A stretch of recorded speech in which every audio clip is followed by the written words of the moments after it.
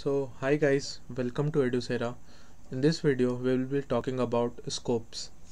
So what do you mean by scopes? Scopes are basically the region of code in which we can access the variables.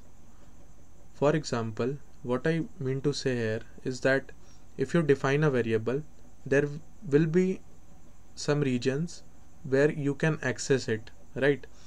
So that is known as scopes. So scopes basically are of two types.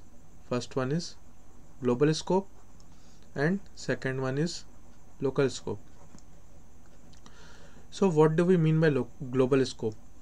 So global scope basically means like the variable is accessed is can be accessible throughout the program okay and when we talk about local scopes the variable is accessible only in the local scope of let's say uh, some block.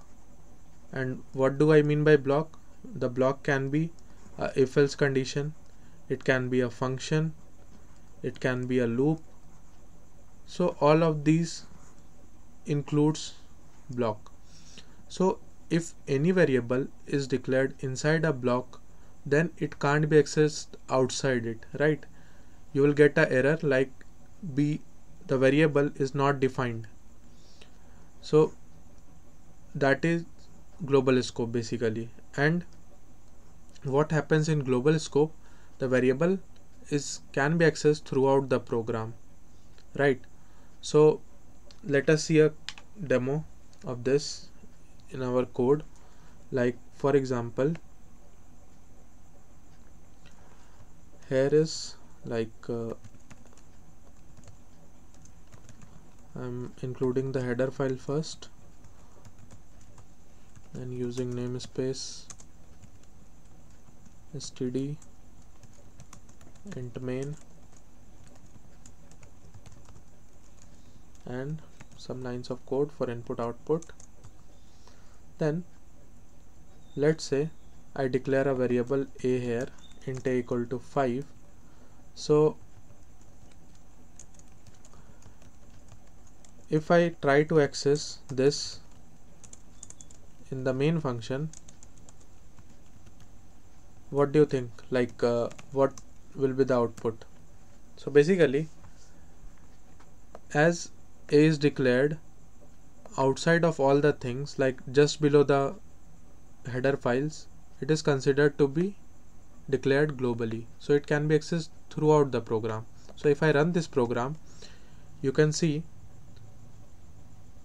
like on the console 5 is getting printed. So I can definitely say like the variable a is defined globally. Now let's say I define a function. And let's say the function name is fun and let's say I declare a variable here. Let's say it is equal to 6 and I try to access sick b value v variable b from main. So what do you think? Like it will definitely throw error. Why? Bec because b was declared inside this function which is the region of b where it can be accessed. So b is declared globally if you think in terms of function fun. And we can't access this outside this function fun. So basically b can't be accessed in main. So we can say b is declared locally inside this fun. So also if you see the error like you can see the error is b was not declared in this scope. Why? Because b was local to this function fun. Now if I try to like uh, print b here and for executing this I need to call the function fun. So if I call this function fun now this will run correctly. Why? Because b can be accessed inside fun because it was locally declared inside this fun. So I hope the concept of local and global variable is clear to you all. Thank you for watching this video.